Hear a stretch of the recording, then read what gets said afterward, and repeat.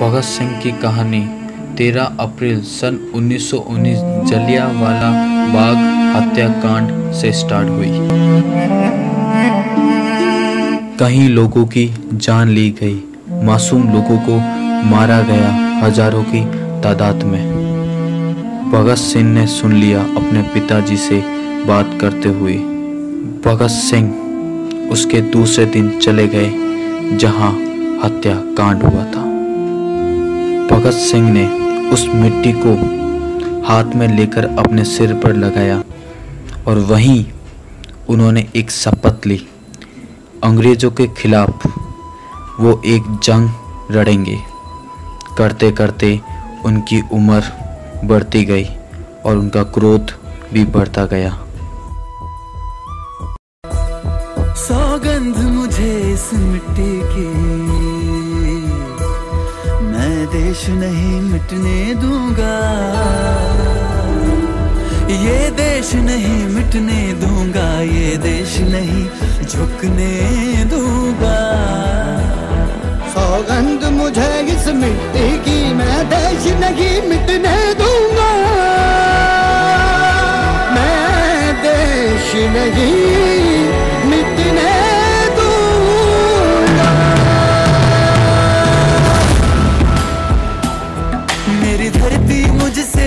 पूछ रही कब मेरा कर्ज चुकाओगे?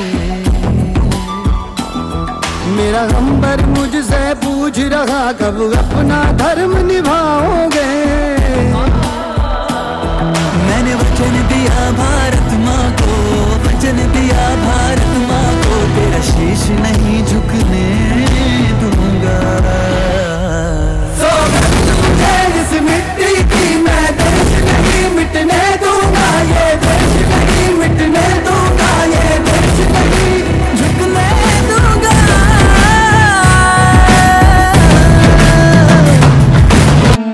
जब उनको जेल के अंदर डाला गया, उनके साथ बहुत गंदा व्यवहार किया गया अंग्रेज़ों की सरकार ने। तब उन्होंने एक आवाज़ उठाई और बोला, कानून सबके लिए एक होना चाहिए। अंग्रेज़ सरकार ने उनकी शर्त मानने से इनकार कर दिया और उन्होंने अपनी जंग लड़नी जेल में ही स्टार्ट कर दी।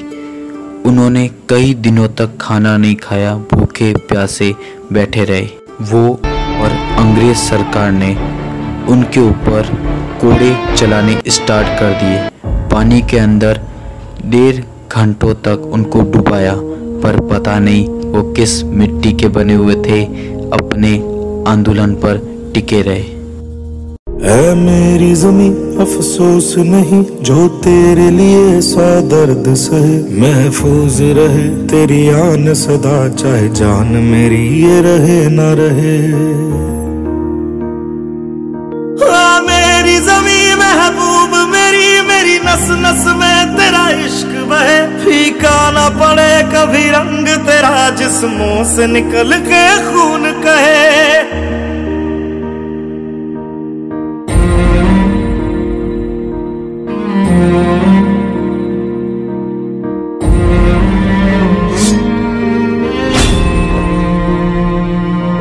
तेरी मिट्टी में मिल जावा गुल बन के, मैं खिल जावा इतनी सी है दिल की आरज़ू।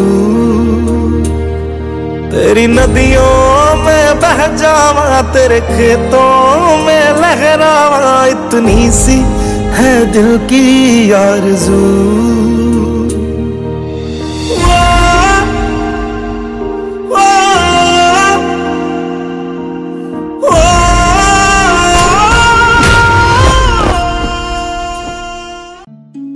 तेईस मार्च 1931 उनको फांसी की सजा सुनाई दी गई। इनकलाम जिंदाबाद और वो घड़ी आ गई।